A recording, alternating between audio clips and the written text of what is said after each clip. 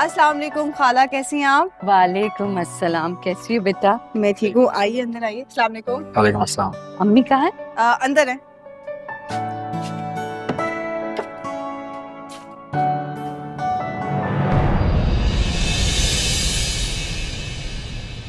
कुलसुम मुझे माफ़ कर दो। मैं तुमसे बहुत शर्मिंदा हूँ। सगी बहन होकर मैंने बुरे वक्त में तुम्हारा साथ नहीं दिया। बल्कि तुम्हारे साथ ज्यादती की मैंने। बस भी करें आपा। जब से आई हैं एक ही बात दोहराई जा रही है। क्यों शर्मिंदा कर रही है मुझे? तुम क्यों शर्मिंदा हो रही हो? शर्मिंदा तो मुझे होना चाहिए। और एक बात से मेरा दिल बहुत दुखी है। मैंने महनाज जैसी हीरा लड़की को ठुकरा दिया। छोड़ें आपा। जो वक्त गुजर गया है उसका ज़िक्र करने का क्या फ़ायदा? आप ये बताएँ साकिब की जॉब कैसे चल रही है? अल्लाह का शुक्र है माशाल्लाह बहुत अच्छी चल रही है। अब सेट भी हो गया वो। अच्छा माशाल्लाह। अल्लाह और तरक्की दे। मलिहा के मंगेतर का अपना बिज़नेस है क्या? नहीं नहीं उसका अपना बिज़नेस नहीं है उसके अब्बू का बिज़नेस है। अरे भाई एक ही बात हुई बाप का बिज़नेस हो या उसका? अच्छा महनाज का शोहर क्या करता है? महनाज का शोहर तो बस कुछ नहीं करता। क्या? क्या मतलब? मतलब ये कि मैंने उन्हें घर से निकाल दिया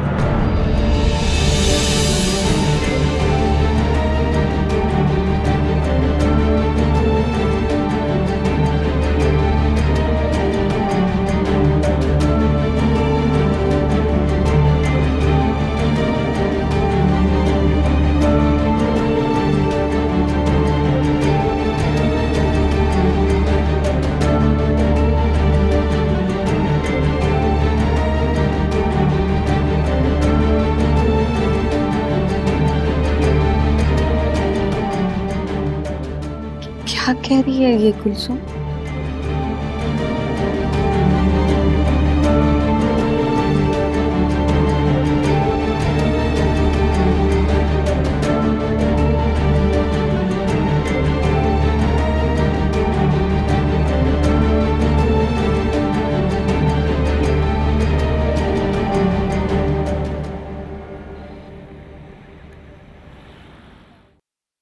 वैसे कुलसुम महनाज ने ठीक किया उस कम वक्त के साथ। क्या फ़ायदा ऐसे जख्म पालने का जो आगे चल के नासूर बन जाए? मुझे ऐसा लगता है आपा जैसे मेरी बेटी बदनसीबी माते पे लिखवा कर आई है। जब भी तो उसके साथ कुछ भी अच्छा नहीं होता। ऐसा बिल्कुल भी मत सोचना तुम। हाँ कभी कभी ऐसा होता है कि इम्तहान बहुत लंबा हो जाता है। लेकिन याद रखना, उसका नतीजा आगे चल के बहुत अच्छा निकलता है। मैं ये सोच रही थी कि उस शख्स को देखे बिना मुझे इतना गुस्सा आ रहा है। तो हमारी महनाज ने इतने अरसे उसके साथ कैसे गुजारा किया होगा? अच्छा है वो उससे जान छुड़ा ले।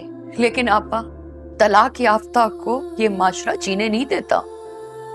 अरे लानत भेजो इस दुनिया और माशरे को। वो किसी को जीने देते?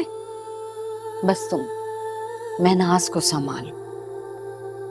क्योंकि अभी तुम्हारे सहारे की ज़रूरत है उसको।